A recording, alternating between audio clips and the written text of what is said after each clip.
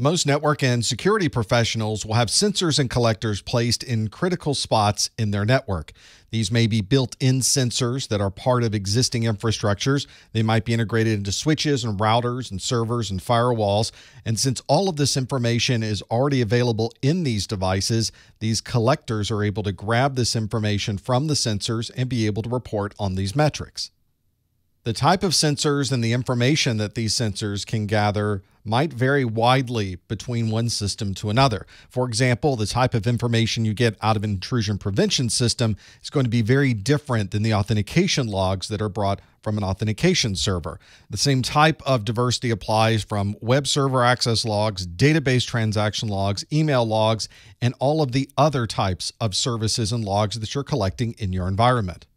The sensor's job is to provide the raw data. It's the collector's job to bring all of that data back to one place and somehow make sense of all of this very diverse information. Sometimes these can be proprietary consoles. They might be the console that you use for your IPS or your firewall, or it might be a more generic SIEM console that you can use to bring lots of different kinds of data back to one single collection point.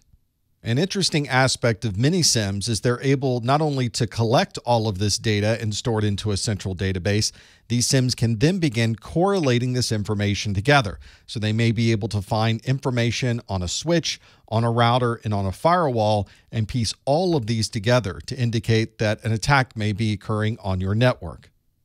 If you're looking for a way to allow or block certain types of traffic from going through your network, then you're probably looking to implement either a packet filter or a firewall. Packet filters are usually following a very simple line of logic. They're not tracking any type of network state, so they're usually a set of rules for traffic going one direction and a completely different set of rules for traffic that might be going the other direction. It's common to use something like a packet filter in Linux with iptables or the Linux firewall, and this is something that is usually running inside of a server or a single device rather than something that will be on an appliance connected to the network.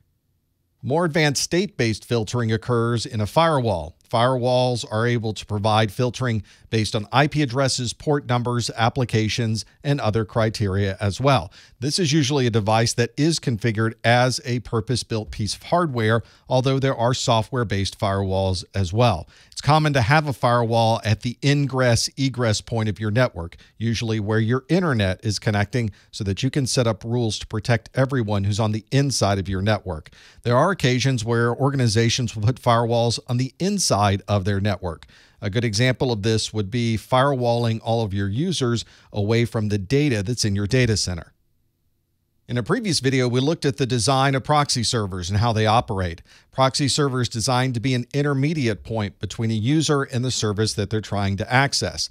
The client makes the request to the proxy server. The proxy server then takes that request and makes it to the service on the client's behalf. It receives the response from the service. Then the proxy server examines the response and makes sure that the response is something that is safe for the user and then sends the answer down to the original requester.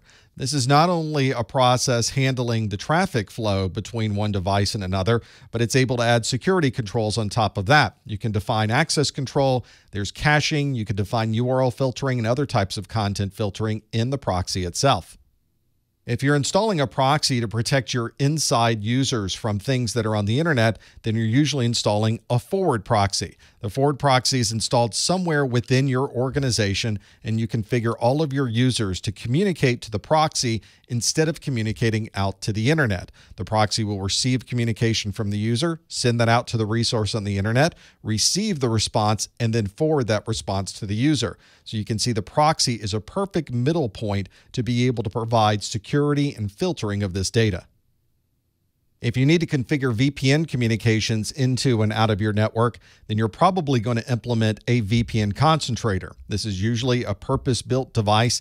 This appliance may be a standalone VPN appliance, or it may be integrated into another technology such as a firewall. It's common to install these on one side of an internet connection and install another VPN appliance on the other end of a VPN connection. And then you can configure a VPN tunnel so that all of the information between these two locations will be encrypted between the different VPN appliances. If you're sending encrypted communication to a web server, then you're probably communicating with the HTTPS protocol.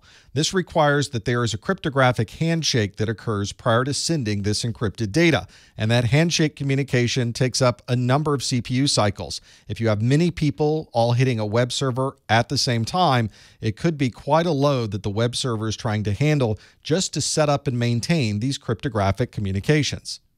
Instead of having the user communicate directly to the web server, you can instead put an SSL accelerator in the middle of the communication. This means the client is going to communicate to the SSL accelerator over HTTPS, and the SSL accelerator usually communicates back to the web server over HTTP. It's effectively offloading this HTTPS encryption process onto a purpose built appliance. And usually it is a hardware based system that is designed to handle this level of encryption. That way you can have many people communicating simultaneously to your web server. They're all communicating over an encrypted channel to the SSL accelerator, and the web server is simply handling the web services. You often see this SSL termination or SSL acceleration function built into load balancers. That's because these load balancers will sit between the internet side and all of your web services. This load balancer is designed to take these requests from the internet and spread the load across multiple servers, thereby increasing the capabilities you have to provide these types of web services. These web servers can be added and removed at any time. That means that if it's busy during the day, you can spin up more servers, and as things calm down at night, you can decrease the number of servers that are currently active. The load balancer is also checking to make sure that all of these servers are up and running. If any of these servers run into a problem and stop communicating, the load balancer will identify that server as being down and will stop sending requests off to the server that's having the problem. When the server is fixed and comes back up and running, the load balancer automatically recognizes that it's working again and begins distributing the load back to that server. It can be difficult to stop a distributed denial of service attack, but there are some things you can do to help mitigate the impact of this type of attack. One popular method of DDoS mitigation is through a cloud based provider. You can have all of your users connecting to a reverse proxy, and that reverse proxy is then determining if the traffic is legitimate or not. If it's good traffic, it continues to send that traffic down to your servers where the response will then go back to the proxy. You might also have tools on site that can help with DDoS mitigation. It's common to have IPS rules that can recognize very popular types of DDoS attacks, and many firewalls have DDoS mitigation built into the firewall functionality. In all of these cases, this DDoS mitigation functionality will sit between you and everybody else in the world. So you want to design your network in a way that you can filter or proxy to be prepared for these types of attacks. Our networks are designed a lot like the way that we live. We have the core of our network, which would be very much like the downtown area of our large cities, but we also have users that are connected very far away from the core of our network. So, just as we have highways that connect us to the suburbs, we have connections between the core that will connect us to our end users. Once we get off of those highways, we have our small neighborhoods, and those would be the network connections where our users would be located. All of these are connected with highways, In our networks we're connecting copper and fiber together to create this network architecture. This is a common three tiered architecture that you might find on a network. We have the core of our network, which would be the downtown area of our world. We have the distribution and aggregation layer. This is where we have larger switches that are able to then connect between the core and our users. These would be the highways that are leading into downtown. And then we have all of the users out in the suburbs. This is our access layer, and this is where the end users are located. All of the end users connect to their neighborhood switch, which then connects back to a distribution or aggregation point, and all of those aggregation points are then connected to the core. If you're working in information technology, at some point you're going to need to capture packets, and getting these packets from the network may be a bit of a challenge. There are a number of different ways that you can use to get the raw packet data from the network into an analysis tool. One common way is with a physical tap, like the one I have here. You would disconnect the existing link, put the tap in the middle, and now you're able to see all of the traffic going back and forth over that single physical connection. These could be active taps that allow you to switch between many different connections and provide an additional boost of signal as the traffic is going through, or maybe a passive tap, which is simply cutting the signal and sending a piece of it off to your analysis tool. There's a software based version of a tap called a port mirror. You might also see this referred to as a port redirection or a SPAN, which stands for Switch Port Analyzer. This is a function that's built into your network switches, so you can plug a network analysis device into your switch and programmatically tell the switch to take all of the traffic from one particular set of interfaces and send a copy of that traffic down to your analysis tool. This port mirroring functionality may have limitations based on what your switch can handle and the amount of bandwidth that you want to send down to the network analysis tool, but this can be a very useful tool to have when you have no other choices available.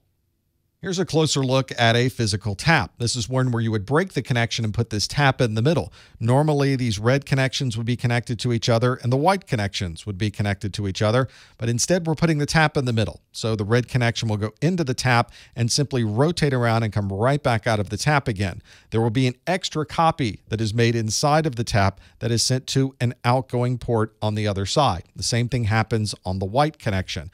So now you have these extra monitoring ports that you can then use use to plug into your analysis tool and capture all of the data between those two devices.